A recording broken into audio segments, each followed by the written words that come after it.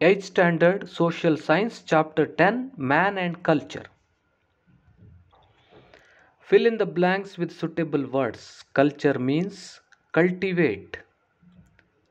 Conventions are activities engage in again and again in our daily lives.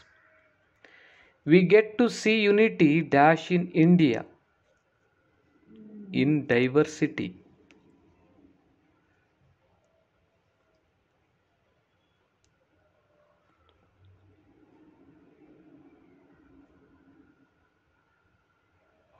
Answer the following in brief. What is culture? Culture is that complex system involving knowledge, the arts, morality, law, customs, abilities, and talents that we learn being members of society.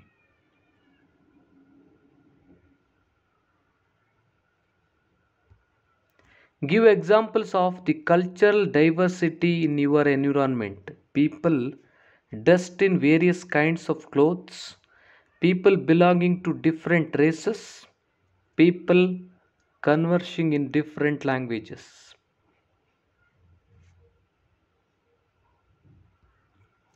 What are customs and traditions? Culture is made up of beliefs, values, rules, social conventions, and morals.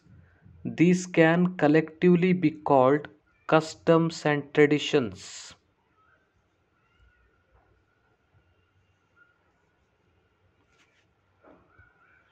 Give examples for customs and traditions, beliefs, values, rules, social conventions, morals.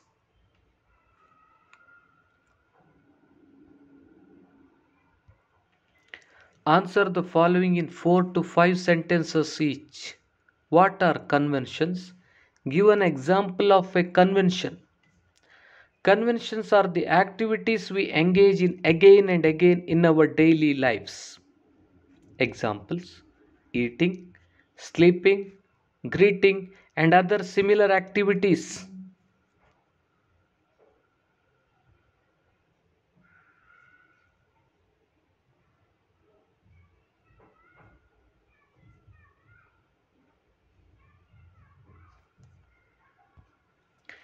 Explain cultural diversity. Even when cultures vary, they can influence one another deeply. For instance, the chudidar worn by women is a kind of dress which has come from the southwest Indians to us. In the same manner, the trousers and shirts that we wear, the English language that we speak, have come to us from the British.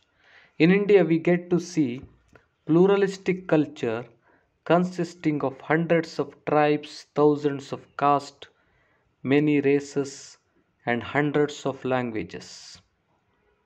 That is the reason why India is said to have unity in diversity.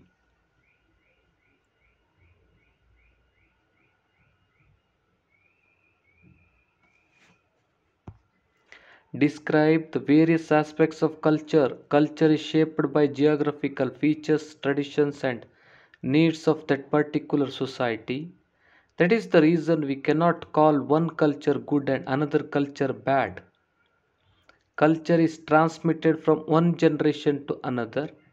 The language we have learnt has been passed on us, passed on to us by our elders. Culture is subject to change constantly. Thus, the culture of one society differs from that of another society.